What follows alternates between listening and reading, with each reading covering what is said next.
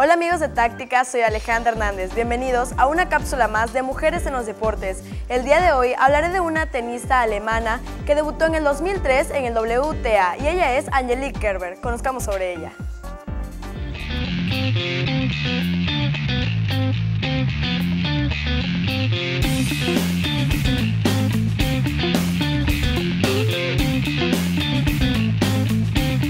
Angelique Kerber es una tenista alemana profesional.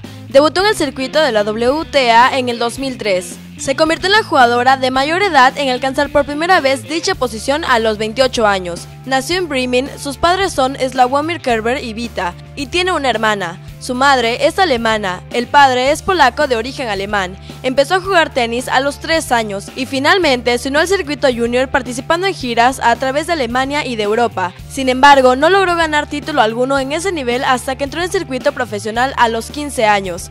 Es la actual número uno del ranking de WTA hecho el 12 de septiembre de ese año 2016.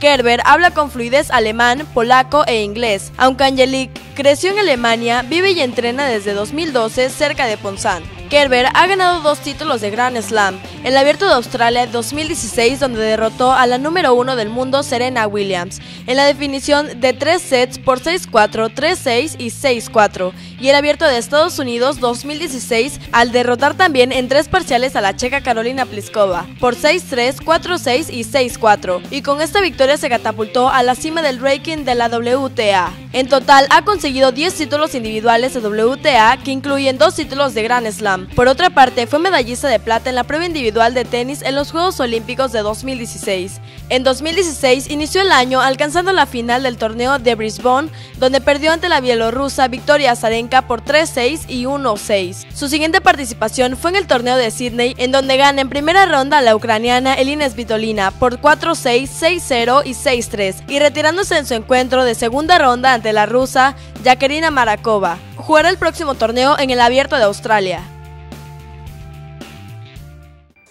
Y ella es Angelique Kerber, que nos deja sorprendidos en tanto su participación en el tenis. Síguenos en nuestras redes sociales, soy Alejandra Hernández y nos vemos en la siguiente cápsula de Mujeres en los Deportes. Hasta la próxima.